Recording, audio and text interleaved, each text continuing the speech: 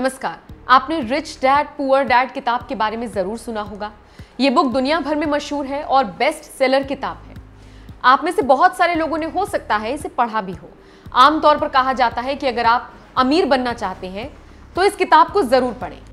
आपको बताते चलें कि लगभग 25 साल पहले अमेरिकन बिजनेसमैन रॉबर्ट कियोसाकी ने इस किताब को लिखा था। तब से लेकर आज तक इस बुक की पॉपुलैरिटी में कमी नहीं देखी गई है, बल्कि अब तक इसकी चार करोड़ से ज़्यादा कॉपियाँ बिक चुकी हैं। उन्नीस सौ सत्तानवे में लिखी गई ये किताब 100 देशों में 50 भाषाओं में मौजूद है। आज इस किताब की चर्चा हम क्यों कर रहे हैं, ये अब आपको बताते हैं। अगर आप भी अपनी ज़िंदगी में कुछ करना चाहते हैं, आगे बढ़ना चाहते हैं, पैसा कमाना चाहते हैं तो इस किताब में लिखी गई ऐसी पाँच सीख हम आपको बताने वाले हैं जिन पर अमल करना आपके लिए फ़ायदे का सौदा साबित हो सकता है।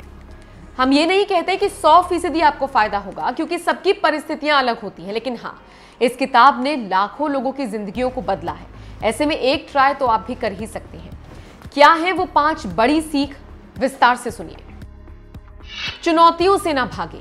अपनी किताब में कियोसाकी लिखते हैं, कभी भी चुनौतियों से दूर नहीं भागना चाहिए। चुनौतियों को हमेशा एक अवसर के तौर पर देखना चाहिए। मिडिल क्लास फैमिली में हमेशा सिखाया जाता है कि ये चीज़ हम अफोर्ड नहीं कर सकते, वो चीज़ हम नहीं खरीद सकते। अमीर अपने बच्चों को सिखाते हैं कि अगर कोई चीज़ बहुत महँगी है तो वो उसे कैसे अफोर्ड कर सकते हैं। कमाने से ज़्यादा ध्यान बचाने पर।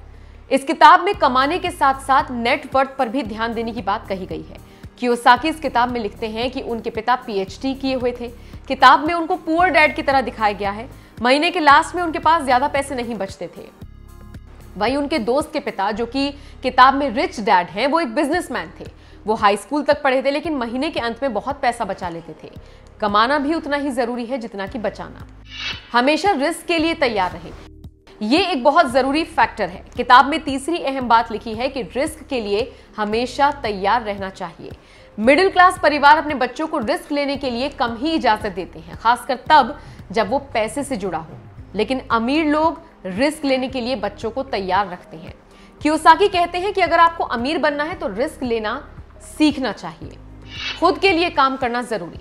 इस किताब में कियोसाकी कहते हैं कि आप अगर अपना पूरा जीवन दूसरों की नौकरी करने में बिता देते हैं तो आप वेल्थ क्रिएट नहीं कर पाएँगे।